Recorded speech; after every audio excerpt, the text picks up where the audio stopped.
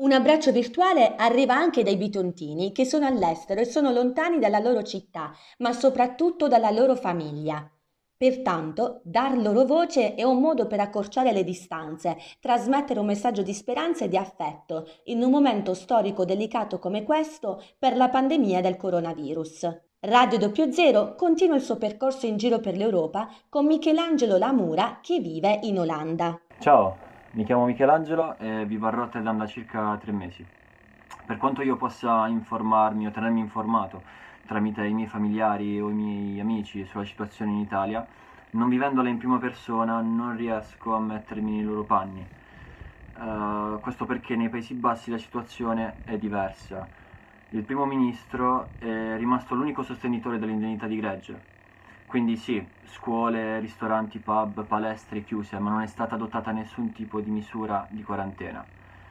Um, negli ultimi giorni, tuttavia, parecchi olandesi si sono barricati in casa.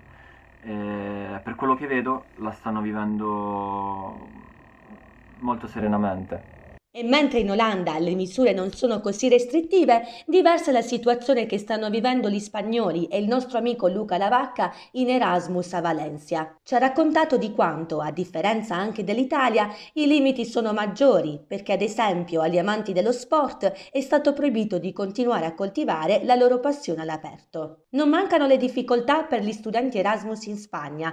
La Farnesina ha fatto pressione all'Italia affinché ci fossero dei voli per far ritorno da all'estero. 3. Le possibilità. Un traghetto della Grimaldi da Barcellona a Civitavecchia, due voli all'Italia per Roma Ciampino da Madrid o Malaga. Ma Luca ha deciso di rimandare il suo ritorno a Bitonto. Ciao, sono Luca e vivo a Valencia da un mese e mezzo, sono uno studente Erasmus.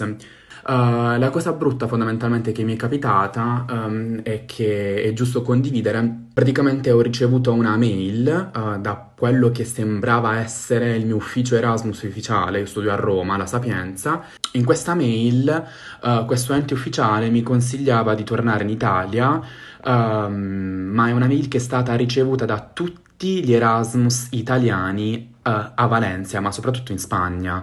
Fondamentalmente bisogna stare attenti anche in questi casi. Um, spero di tornare presto, spero di abbra- abbracciare presto la mia Bitonto e spero di abbracciare presto la, la mia famiglia e i miei affetti. Un bacio dalla Spagna.